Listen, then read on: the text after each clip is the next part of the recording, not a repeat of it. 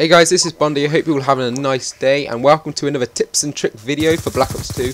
So it's been a while since I actually did my last one. It's probably been about a week or so now and uh, I, feel like I need to give you one because uh, I've actually learned a hell of a lot from this game and learned so much new stuff so expect quite a few in the up and coming uh, weeks and months. Uh, so this tip is actually something that I haven't personally seen on YouTube myself. It's been uh, it's been around, well, obviously it's been around since the game was even out, but not many people seem to know about it. You know, I do use it every now and then in games.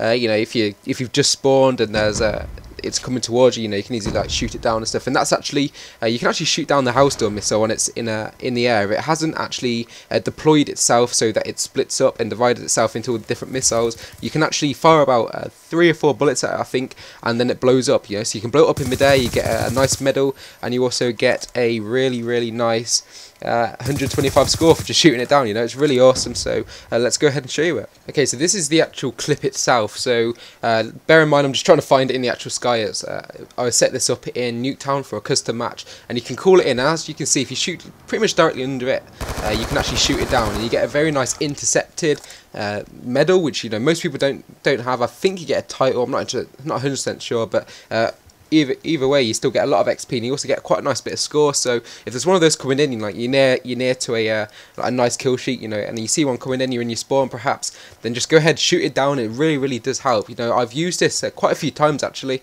and it, it really does help, especially on maps like Plaza, because it comes down at such an easy angle to shoot at. It comes down at probably about a 30 degree angle, 30 to 45 degree angle, so you can just shoot it straight at it. It blows up, and you have people raging. So it's re it's really useful. So I hope you do enjoy. If you do if you do use it or you did enjoy this video, then please leave a like and share the video. You know, it really helps me out. And I do hope you next video. Goodbye.